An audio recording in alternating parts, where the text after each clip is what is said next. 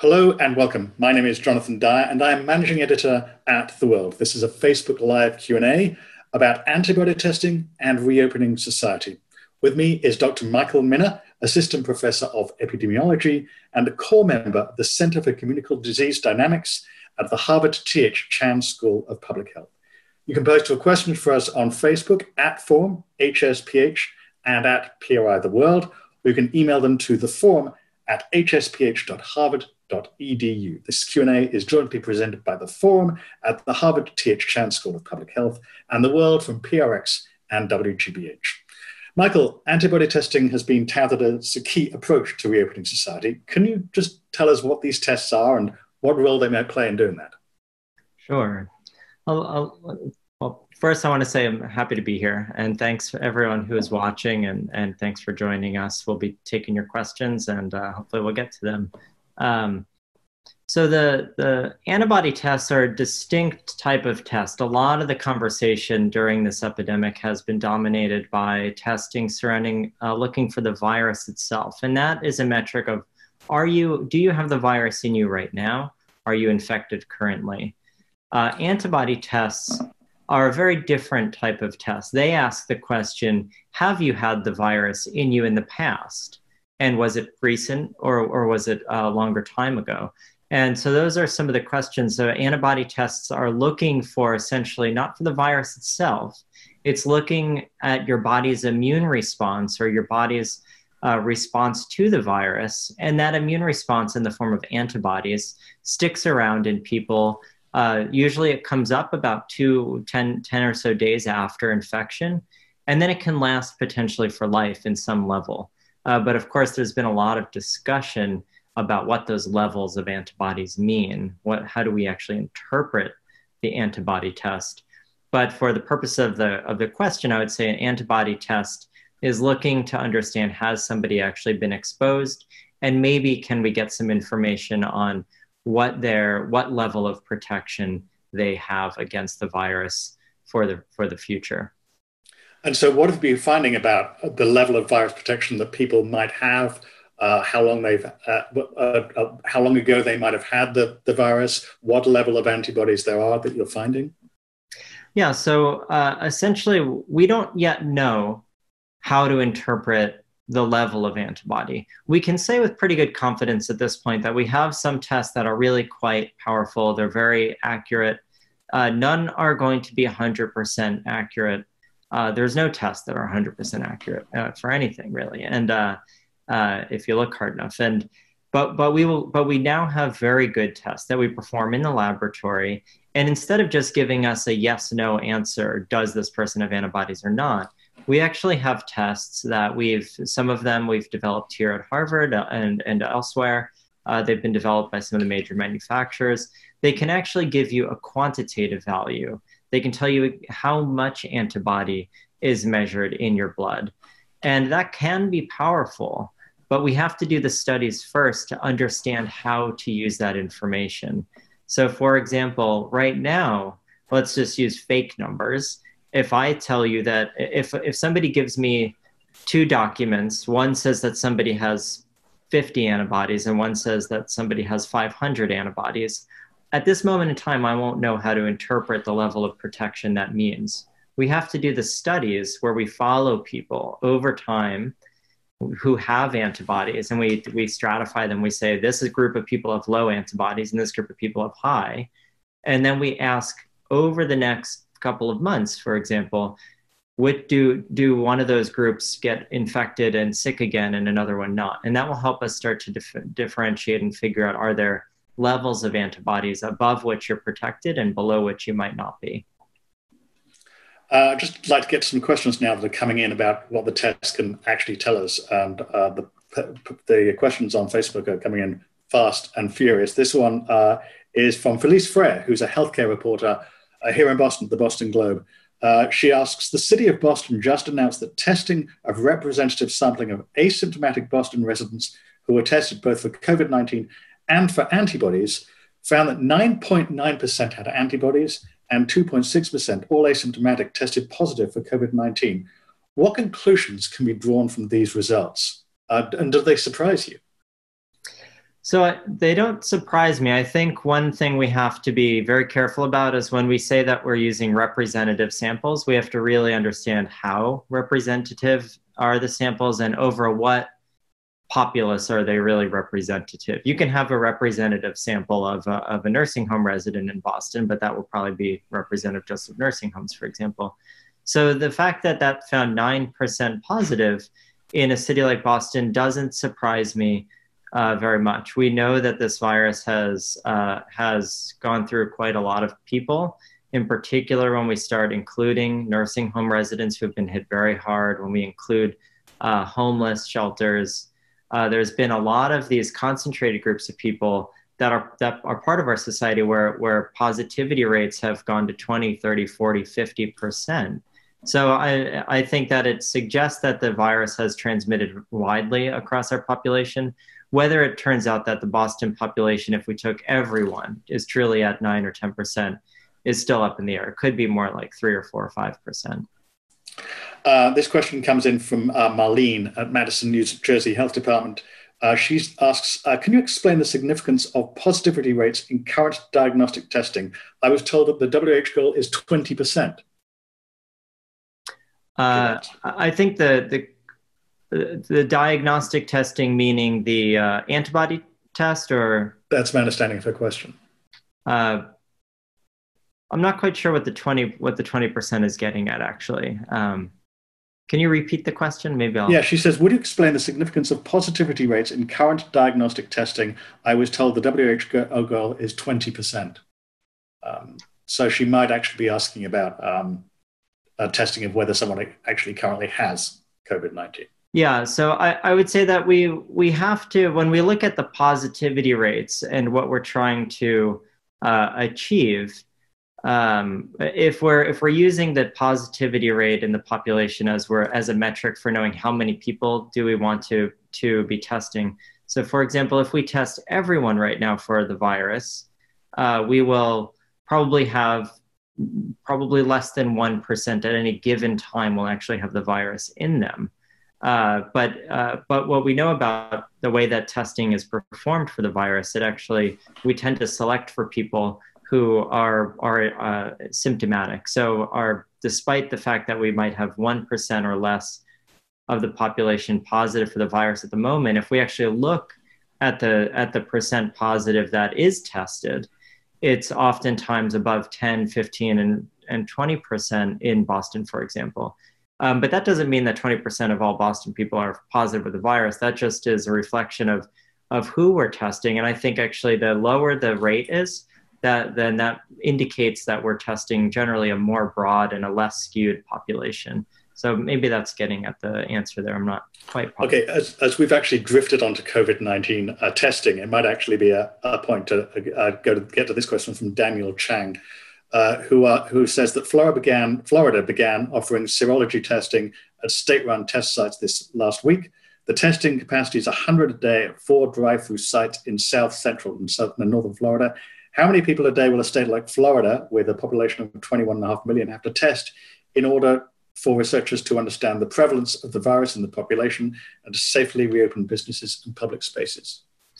So the number of people that need to be tested is going to be very dependent on how well you're testing, how how representative the pool of people is that you are testing. So you can go and test a million people, but if they don't represent the other 20 million people, then you've then then that's not enough tests. You have to. So I would say that you have to um, have, at the very least, the way that we are approaching this question here, we're trying to find we're trying to use very good databases some databases that are that are are developed for example by economists and for political reasons we're trying to leverage these databases to construct a very representative cohort of the population and test that small cohort relatively small cohort a few thousand people.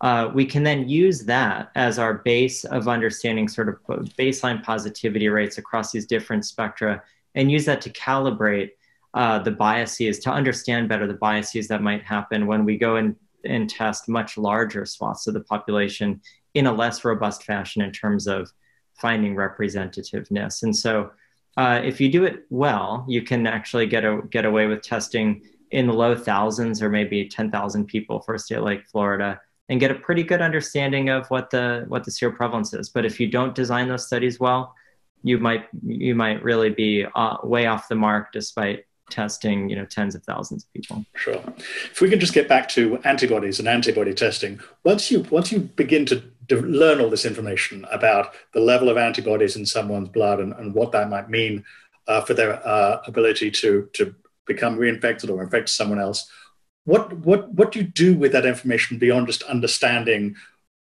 what has happened to an individual person or a group of people? Is there a way that this could actually help us combat uh, this new coronavirus? Absolutely. So I, I, think that I think the real strength of testing for antibodies lies in the public health aspect of uh, of the data, not so much in the individual health. It's good for people to know their serostatus, I suppose, but where it's really the, the most power is understanding where are the populations, for example, that have uh, the greatest amount of immunity built up versus the least. So we could take two extreme. We could take an extreme example, and um, New York City is sort of uh, in the U.S. anyway, becoming an extreme example. Uh, there's if we go and do serological testing, we might find a few weeks ago it was 20%, might be 25% or so. So what we can do is we can actually look uh, in different communities, and we can say this community or this nursing home or this city uh, has, let's say, in a in a few more months or a year from now, has 70% uh, of their population is seropositive. That's important information to know because you you can figure out how to best allocate resources to, for public health needs and know where do you need to do the most enhanced surveillance. If a community has already reached herd immunity, which no, no communities have in, in large part so far, but if they do, then that's an extreme example of where maybe you don't have to put so much enhanced surveillance there and actually focus on the places where there's a big immunity gap, where there's very few people who have been exposed yet. And you might really want to worry about those as being the next place where you might see a big outbreak. So that's one way. You can use it to sort of allocate resources and develop risk profiles for communities to understand where might there be a big outbreak in the future and where might there be less risk in the future as well. So you're fairly confident that the presence of, of antibodies would actually confer a fairly high degree of immunity? I think that this isn't going to be a virus that um, that goes against uh, that the where the immune response to this virus goes against everything we know about uh, viral immunity. HIV was one virus where that kind of really changed our perspective of what having antibodies looks like. But for the most part, acute respiratory viruses like this, uh, the kinetics follow what we, other respiratory viruses that we've seen. I think, uh, despite the fact that we don't have good solid data yet uh, from individual level data, I think most most immunologists and physicians and epidemiologists, uh, myself included, assume that people will develop some level of immunity. We don't know what we don't know if it will be perfect immunity probably not. Or if it will be partial immunity, maybe they can still get some infection, but it might not be severe the second time around. And we don't know if that might happen within a few months of having been exposed the first time, or maybe maybe immunity wanes over a year or two. And then on the third year after your first infection, you can get mildly sick again.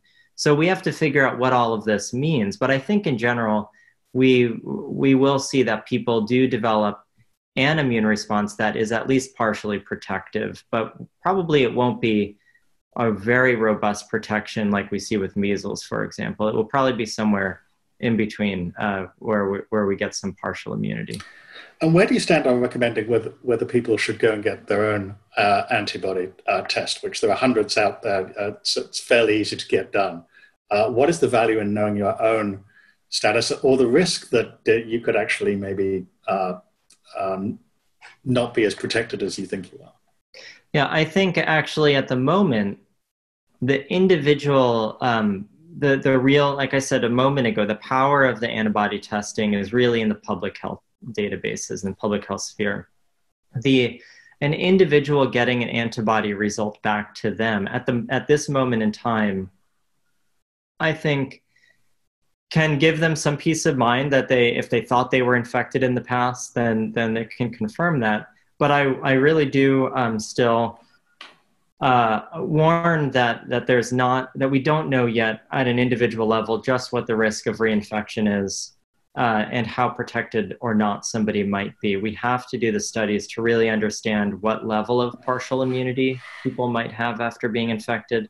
Can they still get an infection? And, and in particular, even if they're not getting an infection that causes themselves to feel very ill a second time around, my one of my big concerns is that people might get an antibody result back that's positive.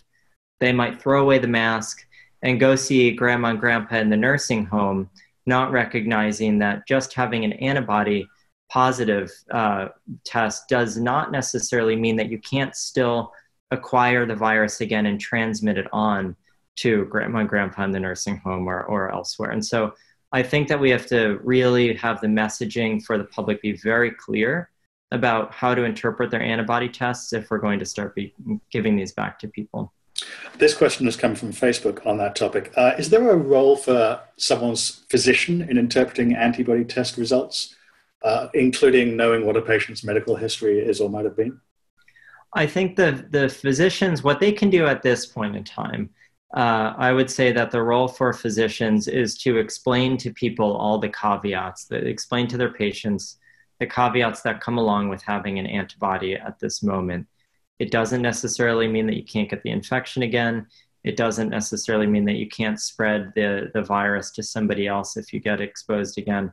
Uh, and it, it does, and so I think that at the moment, with the data that we have in hand, physicians we're all we're all sort of in the same position. We're waiting for our studies, for the various studies that are ongoing, to come out with some results that can give us some better understanding in the in the hopefully in a, within the next few months we'll have some first data sets that come out from these studies where we'll actually be able to say to uh, if a physician gets a report back maybe it will be something like yes this person is positive for the antibodies but is below the level of needed for good protection uh, or is above the level needed for good protection. We're hoping to find what that level might be but at the moment we just don't know it uh, this question has come in from Cindy McCormick of the Cape Cod Times.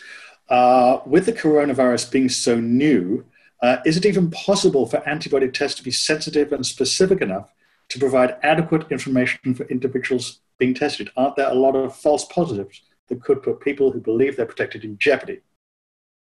Absolutely. And that's why we have to ensure that any of the antibodies that we are using are, uh, uh any of the antibody tests that we are using are the uh, are a very high grade tests that are that are really cutting down on the numbers of false positives and, and false negatives. There will still be false positives. Even hiv tests which are very good and very specific get false positives. And so we have to uh, always interpret antibody tests in the context of clinical care.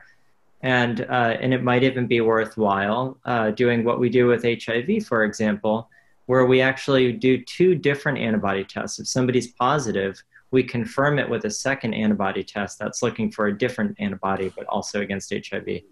So that might be a, direction that we go where it's one, one test alone might not be sufficient.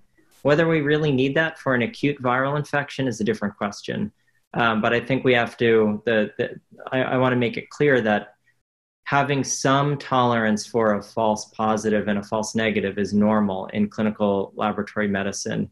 It's just that we don't want those numbers to be big. We don't want it to be 2% of all positives are false. That's not, that's, a, that's an intolerable number, uh, I, I, think, for, for these tests. We want to have it to be smaller than that. And some tests are, are that good and some of them are not. So I would say talk to your physician if you want to know which kind of tests you're, you're getting. Uh, is there a role for the FDA and the CDC in, in refining the, the, the, the, narrowing down the sort of hundreds of tests that there are out, there right now? Absolutely, and I, I think that you know the, the FDA came in a little bit late here to try to um, contain the numbers of tests, and now they're doing it. And, and a lot of the tests that were materializing on the mar- on the commercial market are now being kind of withdrawn.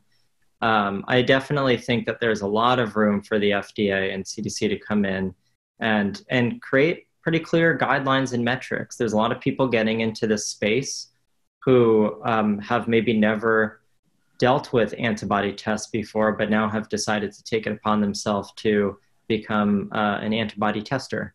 uh, or an antibody testing facility. And for you know, for for those of us who spend our lives um, studying antibodies and testing antibodies, you know, that's we see a lot of the problems inherent there, but we also see that, that there's a need and a space for a lot of people to join in to help with the cause. And I think that if that is done safely, it really needs FDA to create guidelines, to create metrics that need to be achieved, which they're doing.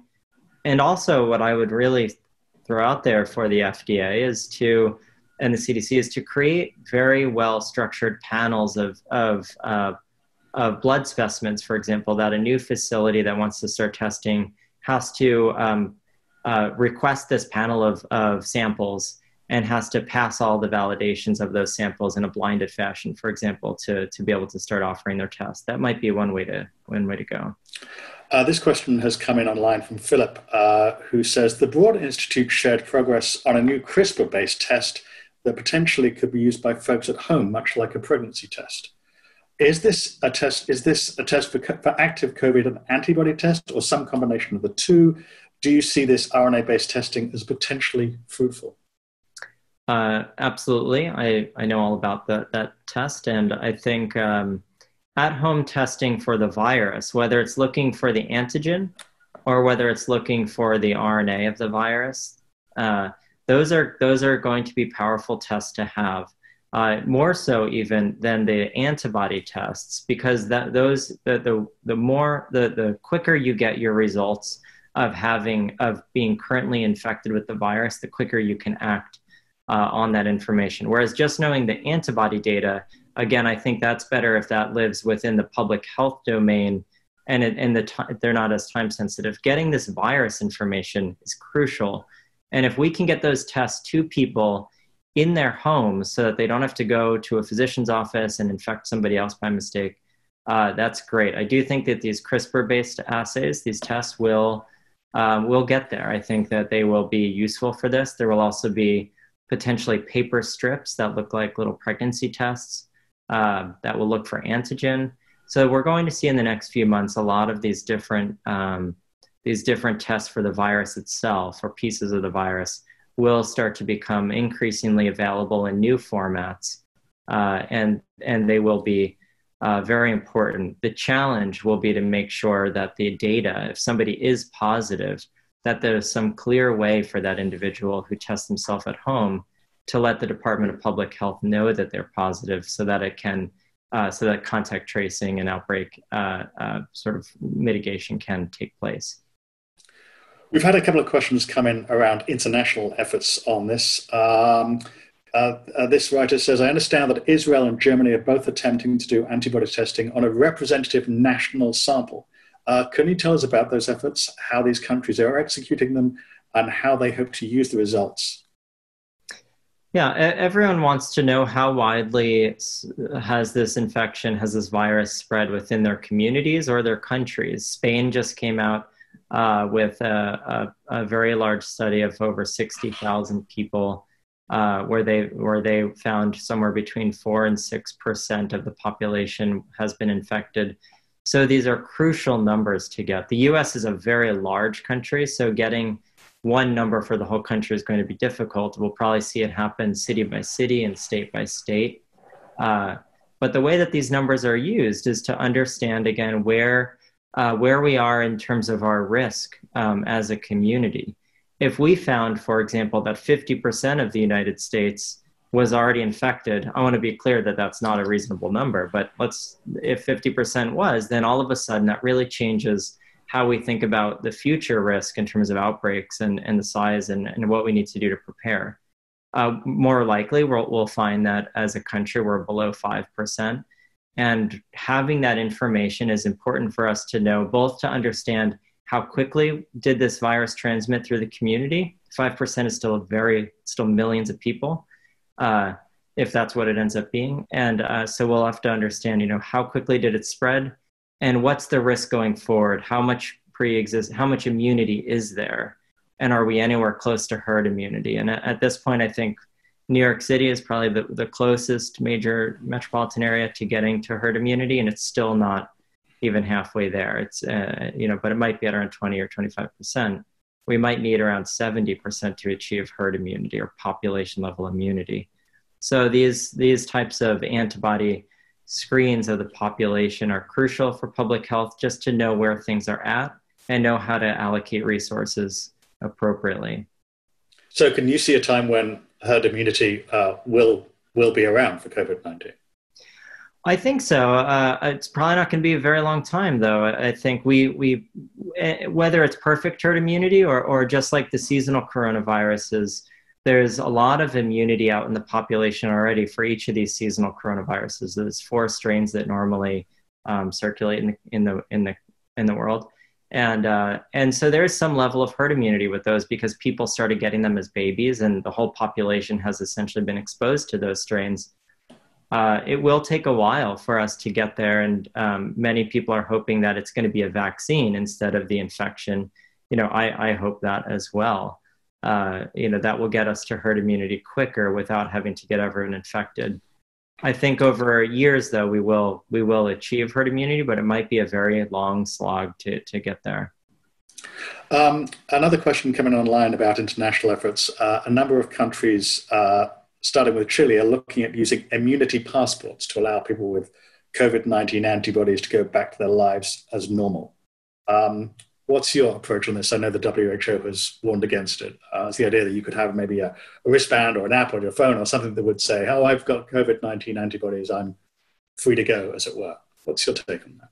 Yeah, this still this comes back to the same question that we still don't really understand what is the role of having an antibody uh, test positive for somebody. Does it mean that they can't transmit? Does it mean that they can transmit? Uh, so until we understand more about what you know, and this also pertains to how we can achieve herd immunity or not. Um, you know, until we understand more about how to interpret these antibody tests, I think the the term immunity passport uh, suggests suggests I think to the average person that something that we don't know yet. It, it, suggests that that you're probably truly immune, and we just don't know if that's the case. So I would say, you know, we might put people in different risk bins. You know, maybe if you've no if you have no antibodies and you've never been exposed, you're you're in a, a high risk category for being exposed, and if you have very high antibodies, maybe you're at a slightly lower risk, but doesn't mean you're immune for sure. And, and we really have to just do the, the science to figure that out.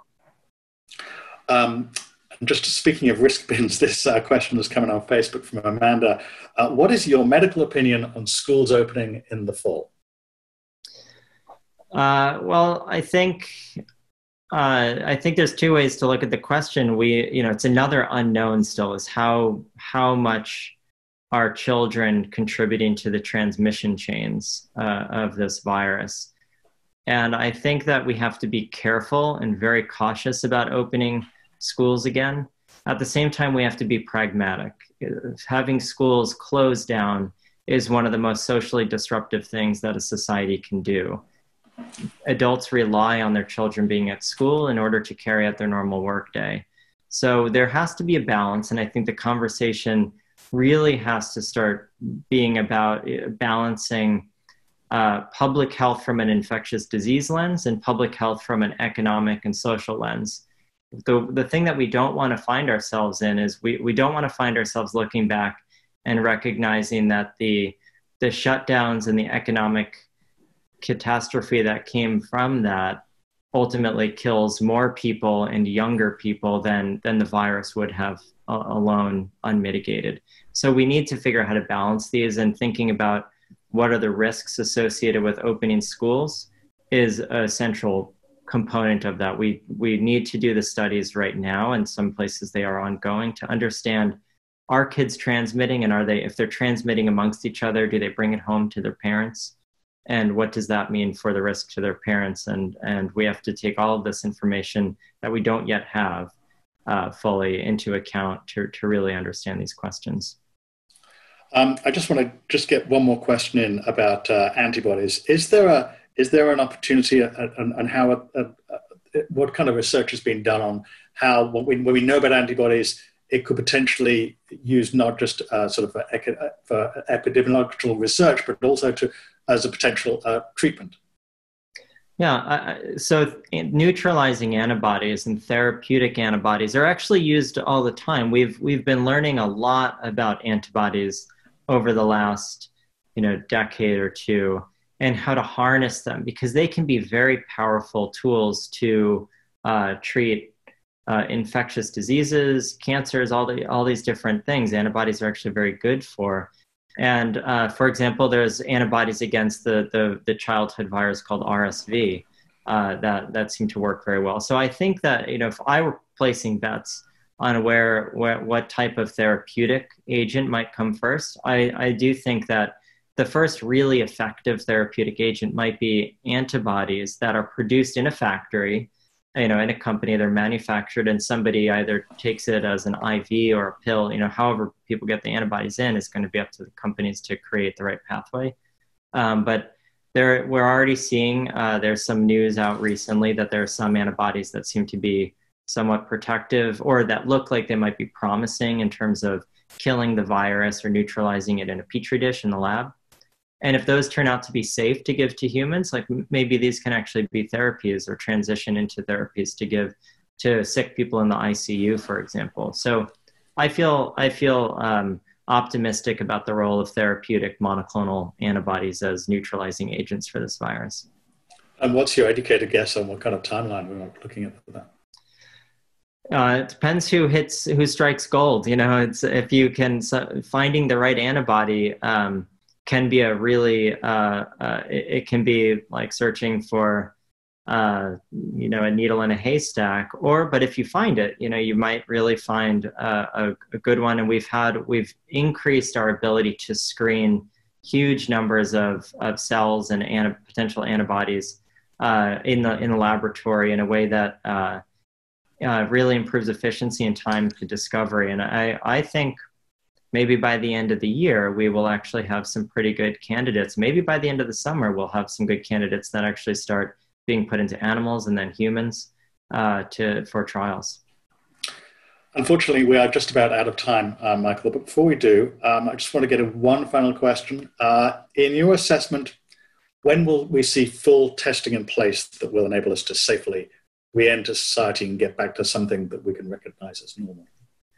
I think to get full testing in place. So the way that I interpret that question uh, and what I would like to see is if we if we really wanted to get uh, have an approach that I thought was approaching safe, you know, to really mitigate any outbreaks as they start and get society back and running. I'd want to see something that approaches most people in the world, or at least, you know, let's focus on the US since we're here at the moment.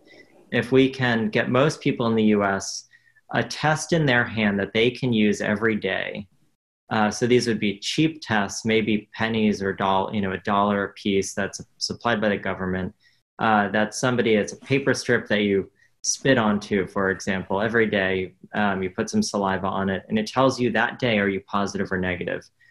Uh, I think that that would be the type of real change in the type of testing we need to to have a very safe way to get businesses back w- without running the risk of large outbreaks.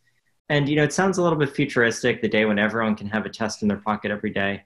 Uh, but I don't think we're that far off. There's a lot of companies just here in Boston and California and elsewhere uh, around the world that are developing really simple tests that are just essentially little pieces of paper with some compounds on them that can detect the virus.